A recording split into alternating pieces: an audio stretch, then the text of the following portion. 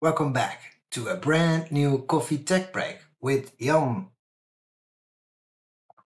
Good to see you back on my uh, channel again for another hopefully great uh, video for you because today I want to take you through the Poly Rove portfolio and how to update those devices. Uh, I think there's uh, at the moment a great need because you can integrate uh, the DECT portfolio now with Zoom with Microsoft uh, Teams SIP Gateway. Uh, but the first thing you do when you receive those devices, the handsets, the repeaters, the base stations, uh, you want to update them to the latest release and so they got the ability to work with all those platforms.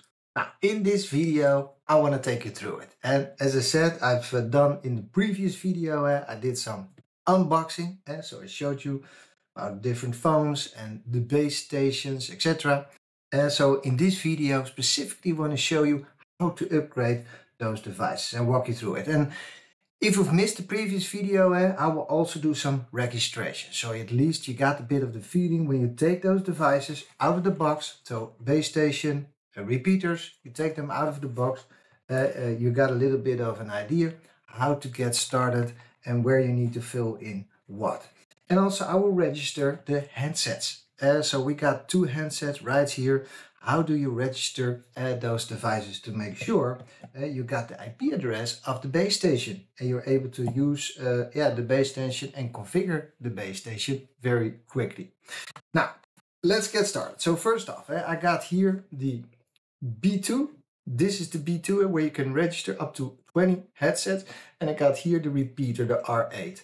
So the B2 you can power that with a separate uh, power or with PoE and the R8 only with power. And so this is just a signal strength repeater uh, in your uh, in your environment. Now, and again, uh, don't forget, I will put all links uh, into the comments. Uh, so if you need to find specific deployment information, etc., just go in the comments and you should be able to, to find it. What I wanted to do and this is also uh, my uh, yeah nicest part of, uh, of doing this is let's connect the devices and show you how you can upgrade this. And so this comes a factory out of the box. And so let me first connect uh, the uh, B2 and which I will do right now and uh, power it up. And the next thing I will do is I will power up the repeater, but I will do that a bit later. So when it's booting up, you see it flashing orange. So that means it is booting up. Now, what is important is you need to register at least one phone to the base station. So what I usually do is I take out battery if you haven't booted it up to just give it a restart. So taking out the battery, it's a replaceable battery. Yeah? So in case you, yeah, your batteries are exhausted, you can always uh, get uh, get new batteries. All right. Let me add it now. As soon as you add the battery, what you will see is it will register. It goes in a sort of out of box experience mode. And directly what you will see is registration successful. So this means always the first phone, when you start it up, it goes into auto registration because the B2 uh, doesn't have any display. So you cannot uh, see the IP address or anything. And so the first phone I usually just take out the battery uh, and just uh, boot it up so you're able to see it. And as you can see, registration is now successful. And now we need to find out the IP address of the base station. Uh, and uh, yeah, try to register, of course, a second device. That's also a possibility. Now, let me first show you how you can find that. So you go here into the menu right here. We go down a little bit. We go here to that dot, that I, which you see right there. We click on that. And as you can see, retrieving information from the base station. And here you will find the IP address right there. We find the software version, as you can see there. Uh, and here you find the MAC address of the base station. Here you got all sort of information. So you can do that here with this D-pad on the phone very nicely. So you can quickly find out the IP address of the device. Eh? The other thing which you can do is register, for example, a second handset. So I have here another handset, but for to register a next handset, you need to allow uh, the system to register a second handset. So how you can do that very quickly is you go here again into that menu. So right, right. We go here into the connectivity menu. Here we're mentioning easy registration. Do you want to add another device? Yes, please. So I click on and enter another device, waiting for another device for two minutes to register. Now, we take the second device. Let me go also into that menu. Here you go. So we're going here into the same menu here. Go down, right, connectivity. Let me show you that. Easy registration. All right, easy registration. And now it is in a sort of registration mode. So we should be able to register now a second device. As you can see, really quickly, really easy. I will show you a similar uh, uh, workflow through the web UI where you can just click register, choose slot. So you can uh, register like 20 headsets uh, to the to the B2. And if you're gonna go like really large, you go for the B4. Uh, so this is the B2. You got also the B4 where you can go up to a thousand. Uh, but that's just depending on uh, yeah on your uh, on your environment of course and how many phones you uh, want to yeah deploy all right so we got now two phones registered and what it will say is no SIP registration so that means these two devices are now connected to the base station uh, but they got no SIP registration as I haven't configured anything yet uh, in the in the base station all right put these two in the charging cradles. All right, so we need to connect now to the base station. How do we do that? We read the IP address here from the handset. We go to info. Here you go. So here you see the IP address, show you that. And so now let's go into my PC and show you how you can upgrade those devices. And also I will register uh, the repeater and eh, because that one will also be upgraded at the same time. Let's go. All right, and don't forget, of course, to take a cup of coffee in between. Here you go. So we got here the IP address, as you see right there, 217. All right, so let's go and jump in. So we need to sign in. So what we need to do there is we type in admin admin, that's the default password. All right. The first thing when you sign into a B2 or B4 eh, a base station out of the box, you need to change password as you can see right here. So I will keep it as it is, admin. I have to make sure we are aligned. Admin, right, and admin, just to make sure that I'm able to, uh, to access it safe Right, log in for the new password. Okay, and here you go. So we're now into the device. Uh, so this is the web interface running on the B2. So you can access it. There is centralized management also, but that's another like video session. And let me focus today specifically on the updates uh, and to keep the video uh, within uh, one or two coffees, of course. Okay, so here we are in the web interface. You can find information here, how it is connected, a MAC address. As you see, there's a lot of technology in here and you can even do 802.1x if you want to have for secure networks. On the top right, you got some uh, options to force a reboot uh, of the base station if needed. We can find the software version. As you see, we're running 8.0.0. So at the moment, we are on a newer version. Eh? So this is why I want to show you that that gives you also the compatibility uh, with the Teams SIP gateway, uh, which I will show you in another video, but you need to, of course, make sure you upgrade all your devices. Okay, so that's the status, uh, system status, uh, service status. As you can find a lot of things here on the connection of the device, the base station, the handset, etc. System management, auto provisioning. So here we're going to configure the, the updates uh, for the handsets and uh, the repeaters. Uh, device admin, here you can change passwords if, uh, if needed. Uh, service provider is configuring the different uh, service provider options. We go here to DECT wireless. So under system, we can find here also some specific uh, of the of the device. Here we find the repeaters under repeaters. So you see nothing is now hooked up as a repeater. We go to the handset summary. As you can see, we got now the Rove 30 and 40, which are both registered here to uh, to the system. Uh, very, very nice. So we got them all in here. Uh, there's nothing uh, strange here. Both devices are there. Uh, so very easy to, uh, to use them. Now, the next thing we will do is we can, for example, delete uh, the Rove. Let me delete, for example, the Rove 30. So that's the, the black one. And so let me show you that. If I delete that, so you can always and delete one. And what it will mention, it says deregistered. So just quickly to zoom in, see here it's now deregistered, uh, the Rove 30. So what I can do is now put it back into that registration mode. So I go back into the connectivity menu and uh, we'll do an easy registration. Now, if I do that now, it will wait to register, as you see right here, but nothing will happen. I need to assign this phone to a specific line. You see, it's just saying registering and just waiting. So another option to activate this registration is, uh, let me go back now to the web interface. As you can see, the handset is not there. It's still waiting for me with easy registration.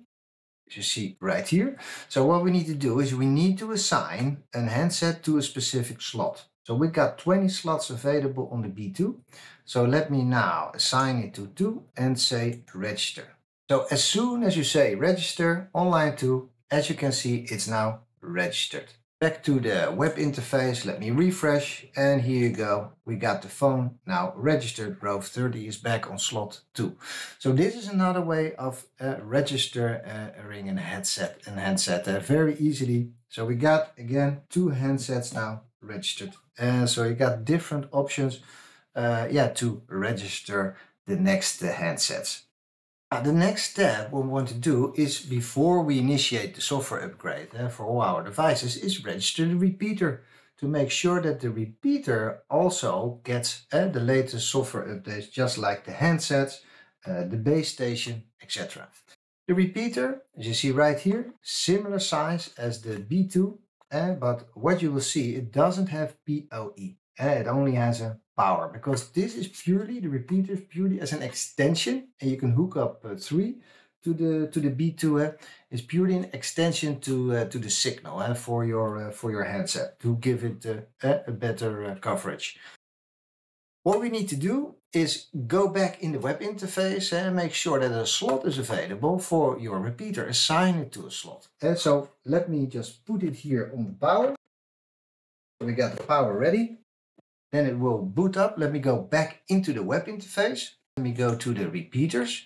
As you see, nothing is present at the moment. It's waiting to register. As you see, the repeater is now flashing. Eh?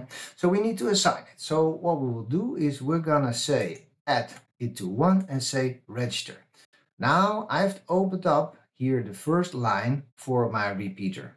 And let me see. All right, and here it goes it automatically registers now to line 1, the Rove R8. And what you also see, firmware update is off. And so we need to enable it, but that's the next step. Here you can also find the version 8003. Same for the handsets. And you see also the versions here, firmware updates off. And so if there is any updates we're going to push out, I will show you that. Uh, so it will upgrade any devices to that, uh, to that latest version. All right, where we're going to initiate software upgrade. So that is important. If you just want to update through central management, uh, then you need to hook it up through uh, a whole central management platform. If you just want to upgrade because you're uh, building just a proof of concept or a demo or anything, you just want to quickly upgrade, there's also the option to upgrade from uh, Poly. Uh, so let me show you some information that is available. Now on the Poly website, uh, there is a knowledge base article uh, which walks you all through where you can find and how to initiate those software upgrades. Uh.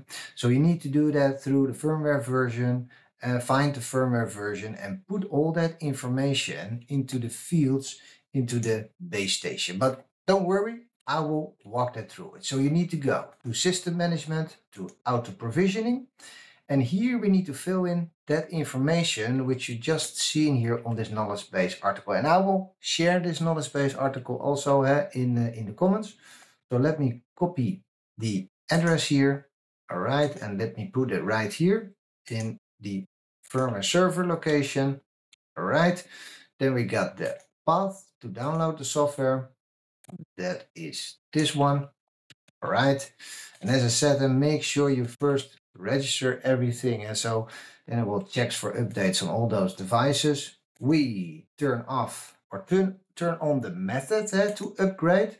So you can do that period and just uh, uh, yeah number of days before it will do those checks. I will do now at system start. Uh, so I will reboot all the devices and this will initiate an, uh, an upgrade. Now, let's look down. What is the next step? If we need to check the version because we need to fill in that information, the, the main version and the build. We need to put that here into the information here all the way below, as you see. So let me ready save this piece. Okay. All right. Now, where can we find that base firmware version, eh, which we need to fill in? We need to go to the product page eh, of the Poly website. You go to business phones. You go all the way down. There we will find DECT devices, right? Rove 30. Now, here you find some great content. Eh? So if you're looking for how to register to base station, provisioning information, uh, what is in the box, etc. There's a lot of stuff here. So it's always good if you're gonna dive into the PolyRove. Uh, this is a good place to get started. A lot of videos are available here. So check that out. And I will can put a link in the comments, but you should be able to find that pretty easily. Under guides and manuals, also interesting, you got that site planning and deployment guide. So how many of those devices can you connect to each other, number of headsets, etc. Deployment guide for the uh, Cisco Unified Communication Manager uh, and uh, similar for Zoom, similar registration for Microsoft Teams. And that will be uh, that will all be shown uh, in one of my next uh, videos. Now, then we need to go to software releases and we can see there that there's a brand new version, the 803. So 803 or higher gives you also the compatibility with the Teams SIP gateway. So you need to be at least on this version. Now, how do we get that uh, version information as shown right here? How do we get that into uh, uh, yeah, into our base handset, into the web UI. So what I usually do, I just click here on software download. You do that, so here you see that information. If you click on download and you see the version 8003 and the build 009. So this is the information we need for all the devices and to fill them out. So let me close this one and get back to the B2. So the brand version is 8003 and then the branch version, uh, the build is 009.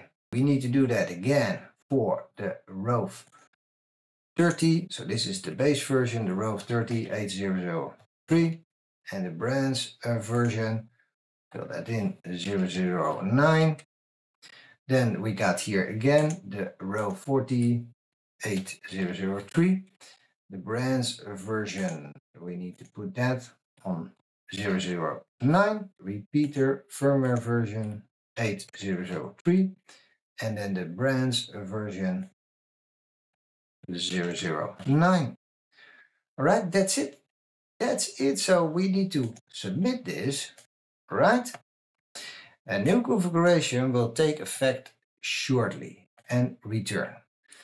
Now, what will happen? I need to now restart the device uh, and to make sure that it will initiate the upgrade for the handset, the base stations, etc. if they're not up to date. All right, let's do a reboot. So on the top right, we can force a reboot, base station.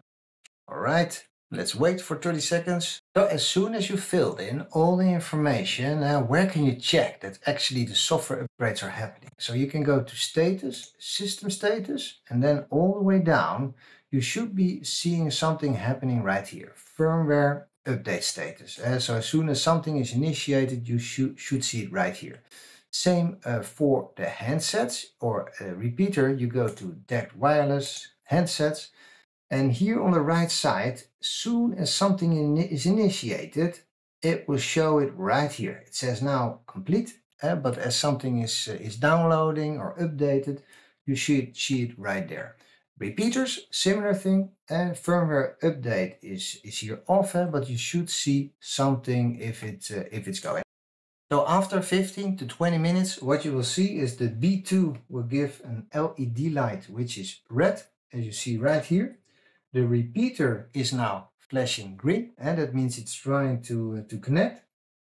It will give you some different lights. So it will flash green and that the firmware upgrade is uh, happening. It will give you some orange light, uh, but upgrade is in progress.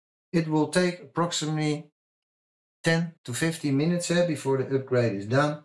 And as I said, uh, after that, the handset upgrade will be initiated and the repeaters, uh, which also upgraded.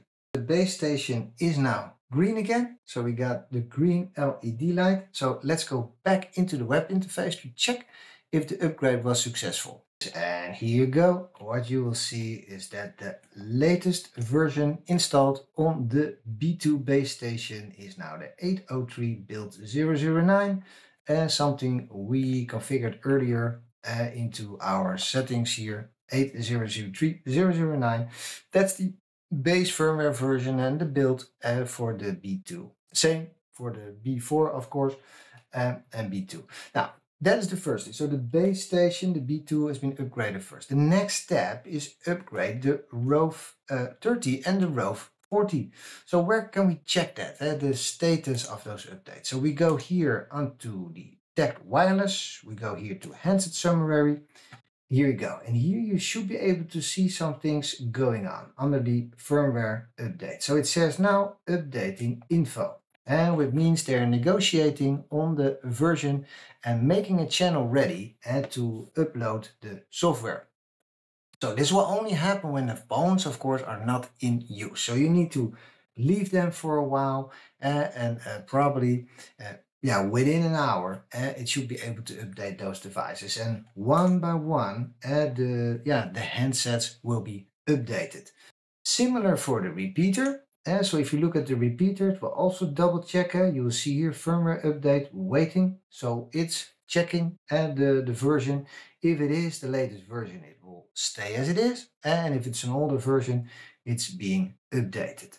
So fast forward uh, 15 to 20 minutes what you should see is that the status is changing all the time. So exchanging a lot of information between the base station and the handsets. And so you see a lot of like waiting, uh, confirmation on the info. And uh, the last final step is initializing. So that means it will open up a channel to upload the software. So after initializing and open up a channel, what you will see is that the uploading is now happening. So first the Rove 30 and then the Rove uh, 40 will be updated. On the repeater side, we already have here 8003.9 and so that is complete. They did the initialization uh, of the version info, etc. But this one is now ready. So the handsets, as you'll see, is now being updated uh, one by one. So at least give it some time uh, to update uh, those devices. Now, lastly, uh, as we're moving too much the ends of this video, uh, let me show you some references. So on the Poly website, there's general information uh, about the handsets and the base stations. So you can find some information there, all microband protected. You can scale, of course, as you grow. So you can start very small and add additional base stations. Uh, it's ruggedized there so they can really Eh, get some uh, some tough uh, environments if if needed. You can manage them centrally. of course, the Rove handset, there's a difference between the 30 and the 40. So the 40 has that emergency button on the top, has Bluetooth inside. There's some additional functionality and it's got that vibrate calling option. And so it vibrates when a call comes in. Base station similar. Eh? So what's the difference between the B2 and the B4? Well, the single cell, the B2, you can pair just two of them and that's it. So that's for very small uh, environments uh, or, uh, or shops. And if you want to go really big, you can go for the B4. You can hook up up to 254 base stations, really powerful, up to 1000 handsets uh, and up to 2000 concurrent calls is really powerful. But if you just need and you got just a small environment and you need to be flexible with your phones, then of course the B2, maybe an additional one is sufficient, or you can even add a repeater. Uh, so if you have enough with those 10 concurrent calls, you can just add a repeater if you need to have additional coverage. Um, here you see the repeater also as just repeating the signal. There's no additional like uh, concurrent calls, etc. This is really just adding additional coverage uh, for your uh, for your office space. Well, you can go also to docs.poly.com. There's also interesting information. You go to phones, speaker phones, wireless phones. You go here to PolyRove. You got user guides and administrative guides. Uh, so this is being updated all the time with, uh, with new releases. Further, as I showed you earlier, go to the product page, go to the Rove handsets. There's a lot of information there. A lot, there's a lot of videos there guides and manuals. As I said to you earlier, there's a site planning and deployment guide. Always good to, uh, to walk that through if you're looking for some more information, how much devices you need for your environment. Software releases, I showed you that also earlier with the PDF, uh, the release notes, etc. And lastly, about the software update, which I used earlier, I will make this available as uh, in the comments uh, so you can access this uh, this page also very nicely where you got those URLs which you just need to copy and paste into the into the base station and you're able to upgrade your devices. Here ends the coffee tech break session for today. Hopefully you enjoyed it uh, and when you got your hands on the Rove DECT handsets and base stations uh, you got now a quick start to upgrade your devices to make them compatible with the Teams SIP gateway uh, or with, with Zoom. In the next videos, I will come up with how you configure the Teams SIP gateway. It is pretty easy, but of course, I will walk that through in the next videos. So if you like this type of video, I would say subscribe to my channel and I keep you uh, updated. If you got some uh, comments or questions, just leave them in the comments and I will try to answer them as good as possible. Thank you for watching and I'm already looking forward to the next video.